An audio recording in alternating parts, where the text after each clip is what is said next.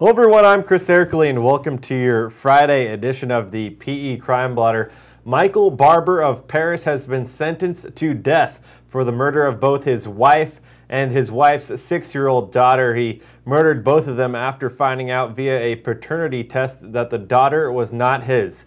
I'm joined now by Press Enterprises' Rich De Atley. Rich, you were in the courtroom this morning when the sentence came down. Kind of describe the scene and also uh, tell us exactly how this whole case went down.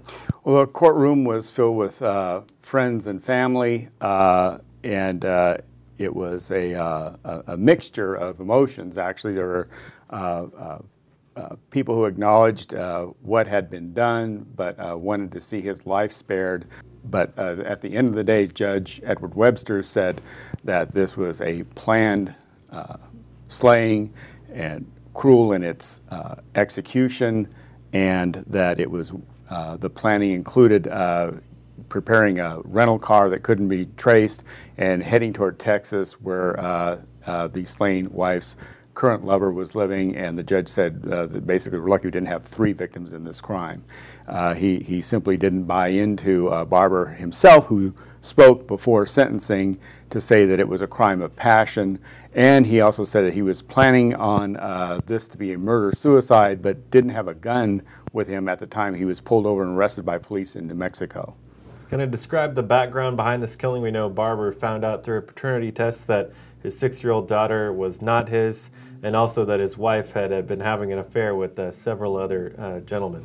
That appears to be the case, and um, as I said, uh, he uh, uh, uh, then planned out this slaying by having a romantic evening with his wife that ended, though, with her strangulation, and then went to the bedroom of the child and killed her as well. The scope of the crime is what the judge kept referring back to and how uh, planned it was and how cruel it was in, it, in, uh, in, in, uh, in, its execution, I said before, uh, in giving him the death penalty. The judge was just simply unswerving in his, in his decision.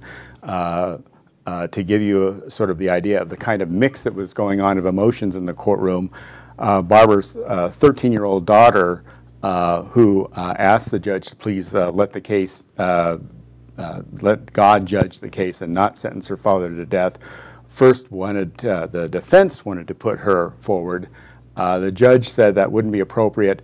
The prosecution under Marsy's law, which allows victims to speak, they brought her forward, and afterward, the prosecutor in the case said that he thought it was just and fair that the daughter should get a chance to speak under any circumstances.